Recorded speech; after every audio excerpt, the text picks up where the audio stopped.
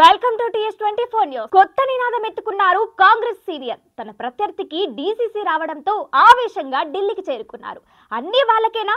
నాలాంటి బలహీనలకు పార్టీలో చోటు లేదా అని గట్టిగానే గొంతెత్తారు. స్టేట్ లీడర్ల రాజకీయాన్ని సెంట్రల్లో తిప్పికొట్టే ప్రయత్నంలో ఉన్నారు ఆయన. పెద్దలు పిలిచి మాట్లాడుతున్నా ప్రాబ్లం సాల్వ్ అవుతుందా అన్న డౌట్. ఇక ఫార్టీ ఇయర్స్ ఇండస్ట్రీ అయినా కంఠశోస ఫలితం ఇదేనా? సీనియర్ హస్తిన బాట ఢిల్లీ పెద్దలకు విన్నపాలు. పొన్నాల బీసీ నాదం. చిన్నా చితక నాయకుడేం కాదు ఫార్టీ ఇయర్స్ ఇండస్ట్రీ. పైగా ఉమ్మడి ఏపీకి రాష్ట్ర అధ్యక్షుడిగా ఓ వెలుగు వెలిగిన లీడర్. కానీ రాజకీయం అంటేనే అంత. ఓడలు బండ్లవుతాయి బండ్లు ఓడలు అయిపోతుంటాయి ఇక మారిన పరిస్థితుల్లో పెద్దరికమే పరీక్షకు నిలబడింది.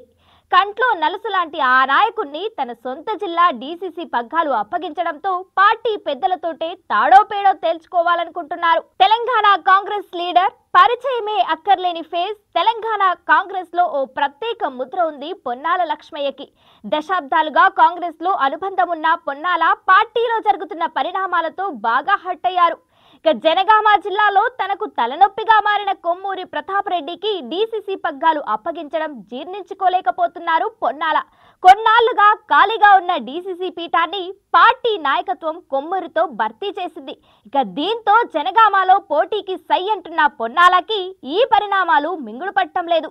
టీపీసీసీ ప్రెసిడెంట్ మద్దతుతో ఎంపీ కోమటిరెడ్డి తన అనుచరుడికి ఆ పోస్ట్ ఇప్పించారన్న అసహనంతో రగిలిపోతున్నారట పొన్నాల లక్ష్మయ్య.